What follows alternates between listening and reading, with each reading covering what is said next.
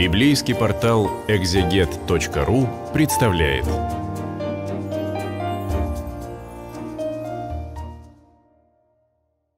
Добрый день, меня зовут священник Григорий Геронимус. Мы записываем это видео для библейского портала «Экзегет». Сегодня мы читаем книгу «Судей», вторую главу в переводе Российского библейского общества. Книга «Судей» — это седьмая книга Библии, Священного Писания. Эта книга повествует о особом периоде, очень непростом периоде в жизни еврейского народа, после того, э, как евреи вошли в землю обетованную, начался этот период, и закончился этот очень неспокойный период с установлением царства, когда первый царь Израилев Саул был помазан на царство. И вот вторая глава продолжает рассказывать о событиях, которые происходили в этом очень неспокойное, очень бурное, очень тревожное, часто трагическое время. Ангел Господень пришел из Гилгала в Бахим, и он сказал, «Я вывел вас из Египта, я привел в ту страну, которую с клятвой обещал вашим предкам. Я сказал, я никогда не расторгну своего договора с вами. А вы не заключаете договоров с жителями этой страны, разрушьте их жертвенники. Но вы меня не послушались. Как могли вы так поступить? Вот я решил, что не буду изгонять местные народы прочь от вас. Эти народы станут для вас ловушкой, а их боги будут для вас западней.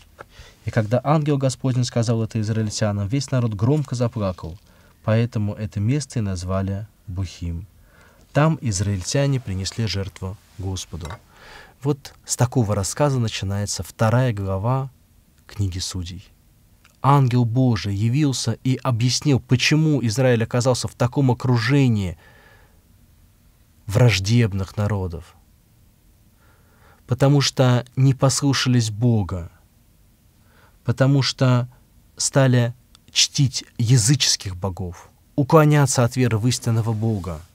Вместо того, чтобы разрушить все языческие жертвенники, как повелел Бог израильтянам, входящим в эту святую землю, они очень заинтересованно наблюдали за тем, как совершаются языческие богослужения, и часто примыкали к тем, кто на всякий случай примыкали к тем, кто чтил языческих богов.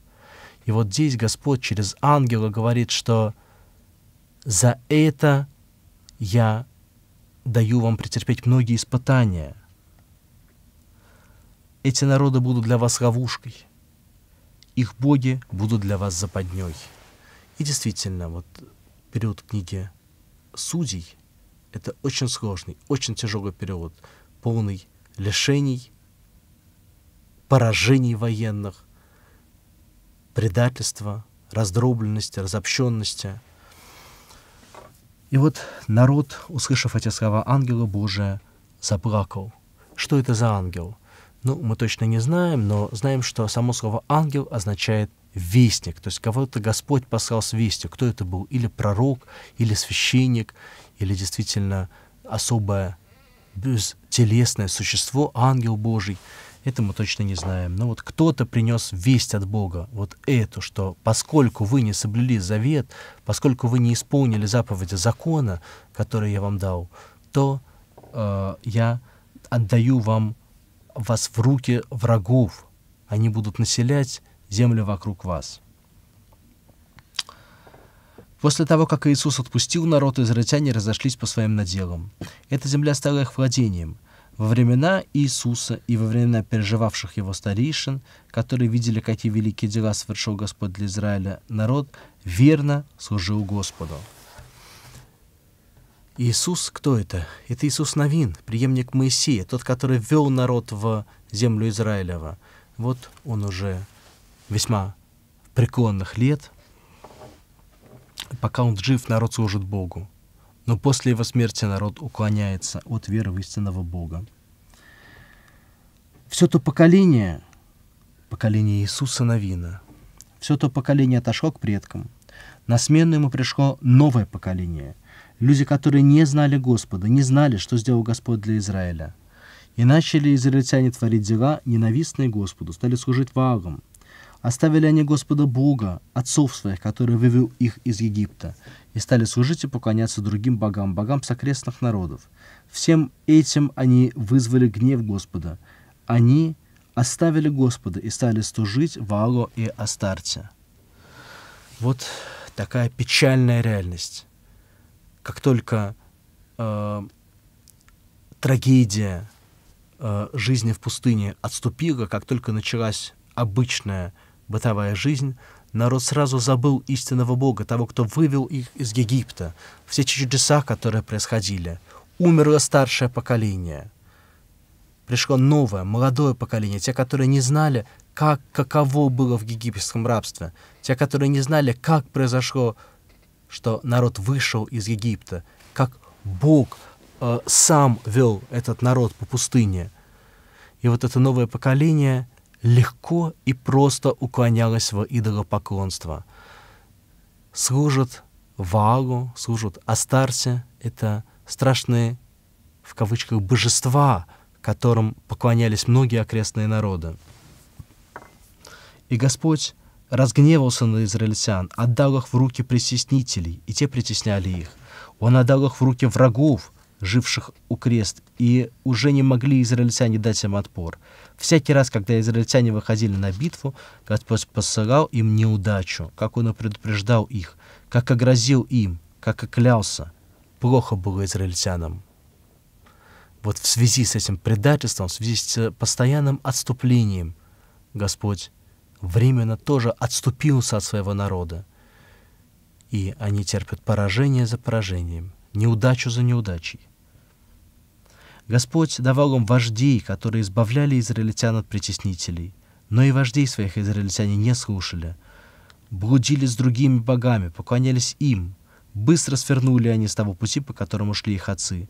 Отцы соблюдали повеление Господа, а они перестали.